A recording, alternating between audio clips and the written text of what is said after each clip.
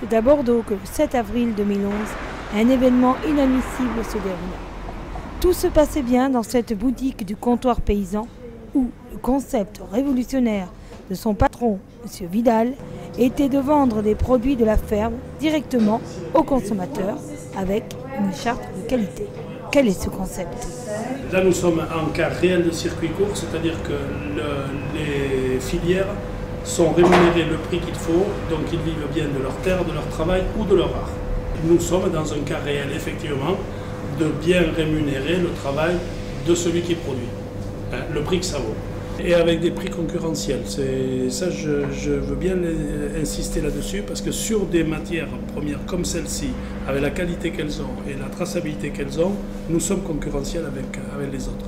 La matière première représente toutes les filières agricoles hein, et nous retrouvons pratiquement tous les métiers euh, de bouche, c'est-à-dire euh, qui vont de la boucherie à la charcuterie en passant par le, traiteur, la cuisine.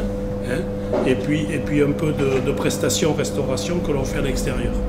Effectivement, nous sommes capables d'être libres et indépendants, ça veut dire à l'abri de la banque et de la subvention, et la mise en place d'une nouvelle économie capable de progression sociale. Donc, cette idée du comptoir paysan est dérangeante. Évidemment qu'elle est dérangeante, puisqu'elle permet aujourd'hui, et nous pouvons le montrer concrètement, que les entreprises peuvent vivre de leur terre, de leur travail ou de leur art, c'est-à-dire toute production confondue. Nous sommes aujourd'hui en mesure d'amener une nouvelle économie, une nouvelle économie qui permet la régulation, régulation qui n'existe pas aujourd'hui. Ce qui s'est passé d'inadmissible le 7 avril, je vois arriver à 9h30 tout un tas d'individus non identifiés qui nous disent police, vous êtes euh, interpellé, vous avez fait, euh, vous êtes accusé de travail illégal, non, de travail dissimulé. Donc euh, ils rentrent dans le magasin, ils empêchent les salariés de travailler, ils leur disent on ferme le magasin et puis voilà. Je leur dis non, écoutez, vérifiez, moi tous mes salariés sont déclarés, vous faites une erreur, hein, ils me descendent, ils m'amènent en bas, menottés dans la voiture embarquée. Voilà. Et vers 9h30, 10h, des personnes sont arrivées par toutes les portes, sans présentation de papier, sans brassard sur les bras, nous ont demandé d'arrêter de travailler qu'on était, on était en train de travailler sans être déclarés. On a été très choqués parce que nous, on avait des fiches de salaire, on était déclarés. Un monsieur qui ne s'est pas présenté nous a demandé si on avait été payé. Et on avait été payé. Alors donc par la suite, euh, ils nous ont empêchés de mettre les produits périssables dans la chambre froide. Ils nous ont obligés à laisser tout à la chaleur et nous ont demandé de quitter les lieux. Et là, un gendarme ou un policier, je ne saurais pas vous dire la différence parce qu'on n'avait toujours pas, a menotté M. Vidal et il y en a un qui a dit et serré bien et l'ont amené. Par la suite, ces messieurs dames ont ouvert le tiroir de la caisse, ont vidé la caisse, ont mis dans une poche et nous ont demandé de sortir. J'ai travaillé dans divers établissements de euh, cuisine pour euh, collectivités, brasseries, jusqu'à ce que je trouve euh, cet emploi qui pour moi était quelque chose de merveilleux parce que déjà c'était à 5 minutes de chez moi, c'était euh, un établissement qui m'offrait la possibilité de, cuisiner réellement, contrairement à tout ce que j'avais vu auparavant, et travailler avec des, produits d'excellente qualité dans des conditions optimales. Donc je me suis investi euh, à fond avec beaucoup de plaisir.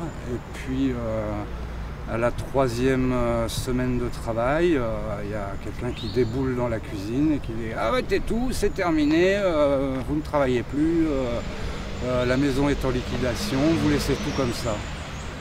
Et oh, je, je, viens de finir de cuire mon pot-au-feu, je ne l'ai même pas mis à refroidir, il va se perdre. Au final, c'était quelque chose de totalement insignifiant puisque les, scellés ont été posés sur le magasin et tout est resté tel quel. Ça doit faire trois semaines maintenant, donc euh, ça, doit être équivalent à quelques morts en train de pourrir dans une boutique. Euh, ce matin, je, travaillais dans la cuisine. J'ai aidé dans la cuisine. Et euh, c'était un type qui est venu, qui a dit vous arrêtez tout de suite, c'est la police judiciaire, le magasin sera fermé. Et vous, il a donné à, au cuisinier seulement la possibilité d'arrêter le feu. Et il nous a demandé de présenter des pièces d'identité. Derrière chaque euh, employé, il y a un policier qui l'accompagnait jusqu'à la toilette, jusqu'à la voiture. Donc euh, l'après-midi, on se rend compte que euh, je suis placé en garde à vue. L'après-midi, on se rend compte qu'effectivement, de travail dissimulé, eh bien, il n'en existe pas, parce que tout le monde est déclaré. Et puis, je suis quand même présenté au, au substitut procureur ou à un procureur, M. Lagarde, qui me dit qui ne me parle plus de travail dissimulé, qui me parle de banqueroute. Après, on s'est présenté au poste de police, on nous a entendus. On m'en a mis jusqu'à me demander le nom de jeune fille de, ma mère, de mon père, pour quelle raison je lui ai. En nous demandant, euh, alors euh, je leur ai bien expliqué qu'ils avaient dû se tromper, qu'on était bien déclarés. Et c'est là qu'une personne qui me, questionnait m'a dit euh, effectivement, peut-être qu'il y a une erreur. Enfin, malgré ça, on a continué. Et avant de partir, on a juste demandé est-ce que vous voulez porter plainte contre votre patron? J'ai demandé pour quelle raison. On m'a répondu pour travail dissimulé. J'ai dit écoutez, moi je ne vois pas pourquoi je porterai plainte parce que pour moi je suis déclarée. J'étais quand même aussi euh, interpellée à la police pour être entendue. Et là-bas, ils m'ont euh, donc euh, demandé depuis quand je connais M. Vidal, comment je faisais la connaissance, qu'est-ce que je fais avec lui, euh, quelle relation j'ai avec lui, est-ce que je suis payée, comment je suis payée. Donc il m'a demandé euh, qu'est-ce que je pense de cette intervention. Et je dis, à mon avis, c'est un grand faux que vous avez commis. Et donc elle a été tranquille et je pouvais aller. Je n'ai toujours pas compris ce qui s'était passé. Il n'y a, pas, a pas eu une justice qui me dise, Monsieur Chatillon, euh, les choses sont ainsi, ainsi, ainsi.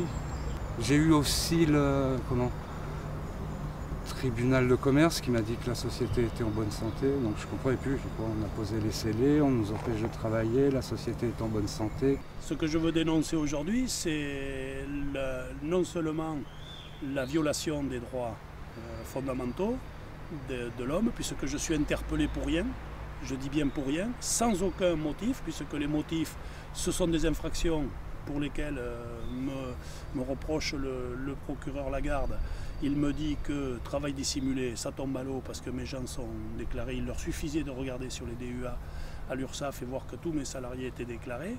Et deuxièmement, euh, une soit supposée banqueroute pour laquelle on est en train de se rendre, et on va se rendre compte du scandale euh, qui arrive, c'est que le magasin, c'est moi qui l'ai financé et je, il n'appartient pas du tout à la SAS Comptoir Paysan.